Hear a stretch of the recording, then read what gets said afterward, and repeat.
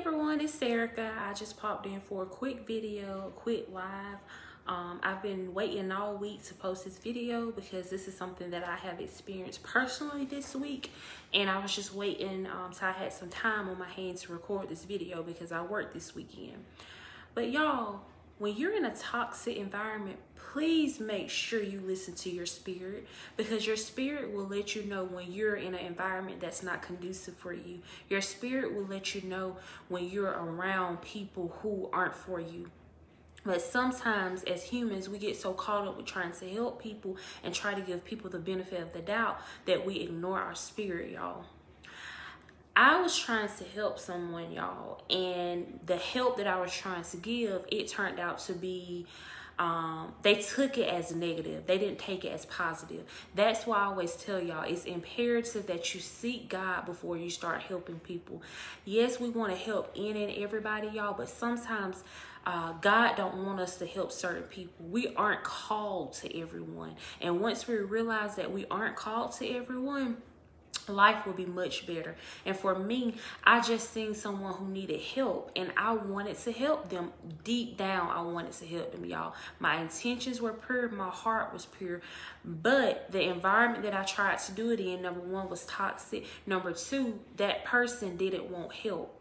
And so you can want to help a person all day long. That's just like a drug addict and people that um, are on alcohol. If those people don't want help, you can do everything in your power to help them. You can want it for them, but until they want it for themselves, they won't receive it. And the person, you know, that you're trying to help, make sure that they're ready to receive it. In my case, y'all, I wanted to do good, but you know, the person that I wanted to do to do good for, they weren't in the um, position to receive um, the help that I was trying to give them.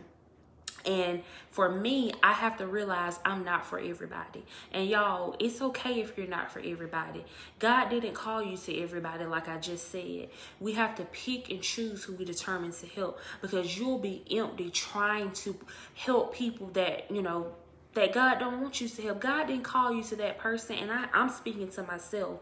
And I'm left with their uh, baggage. I'm left with their trauma. I'm left with their hurt, trying to be helpful to them. But they're not in a season where they won't help. They're in the season where they want to complain or in a season where they want someone to give them a pity party. But they're not willing to put their work in. They're not willing to help. And y'all, that I had to realize that I can't be that person.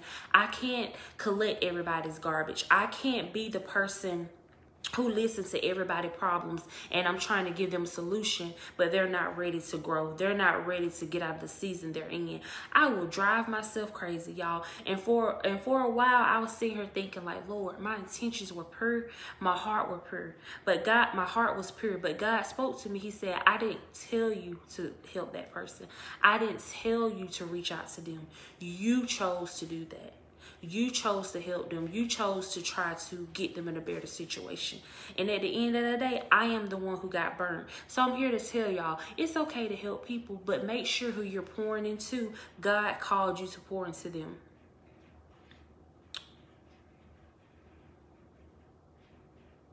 Hold on, y'all. And like I was saying, the uh, saying is so true. You can lead a horse to the water, but you cannot make a horse drink it. You can want someone to, you know, be better for them, but y'all, if they don't want it for themselves, you will always be the bad person.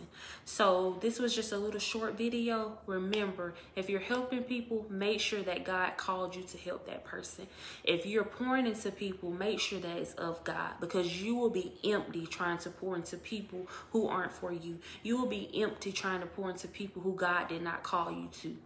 God want us to help people, y'all, but we must help the people that he called us to. Because if not, your good will be misconstrued as bad. And that happened to me this week. What I meant for good, they turned it and used it for bad. And I had to sit back with my feelings and I had to sit back with myself and say, you know what? God didn't call me to that person. So I can't be upset with no one but myself. So sit in the presence of God and make sure before you pour into people, God has told you to do it. I pray I have a blessed and awesome night. I'll see y'all back in just a little bit for another video.